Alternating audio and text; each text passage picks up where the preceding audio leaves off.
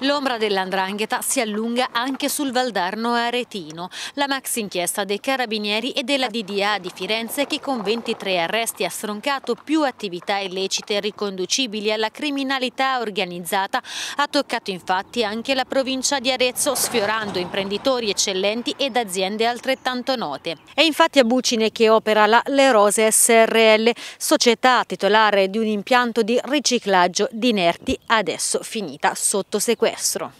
Le indagini hanno portato in carcere o ai domiciliari Francesco e Emanuele Rose, padre e figlio, entrambi domiciliati a Pergine, titolari dell'omonimo impianto di smaltimento rifiuti di Levane, secondo l'accusa vicino al clan Grande Aracri. Ai domiciliari è finita anche Anna Maria Faragò, moglie e madre dei due. Il quadro è quello della gestione degli scarti della lavorazione del cuoio che venivano classificati falsamente come rifiuti non pericolosi e lavorati negli impianti delle Rose a Levane Giovane Pontedera. Le manette scattano a pochi giorni di distanza dai drammatici roghi che avevano colpito alcuni capannoni industriali di Levane, aziende che si trovano a poche centinaia di metri dall'impianto delle Rose.